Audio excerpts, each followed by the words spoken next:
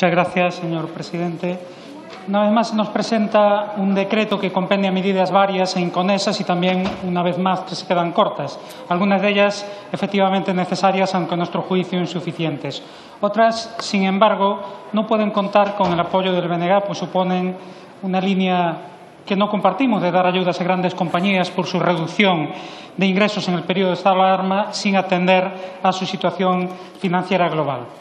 Decía Merchez Purúa que con ustedes eh, nunca se llega a buen puerto, salvo las navieras, porque estas sí ven reducidas las tasas, lo que supone rebajar los ingresos de las arcas públicas, o se prevé, por ejemplo, reequilibrar económicamente a las empresas concesionarias de autopistas, considerando incluso aumentar el plazo de concesión.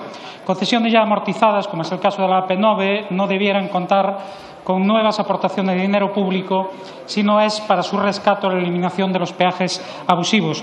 Por cierto, un compromiso que han adquirido con el BNG, realmente con Galiza, y que estamos esperando, no nosotros, sino todos los gallegos y gallegas que cumplan.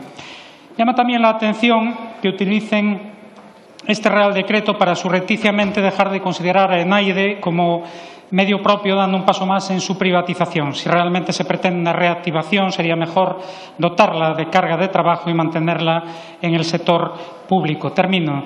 En definitiva, se sigue apostando por facilitar con bonificaciones, deducciones o rebajas fiscales la pervivencia de grandes empresas, pero para las clases populares, pymes y autónomos se sigue manteniendo la línea de aplazamientos, moratorias, ahora ampliado, es verdad, una medida necesaria, pero como decíamos, insuficiente, por lo que el Se va a abstener. Gracias.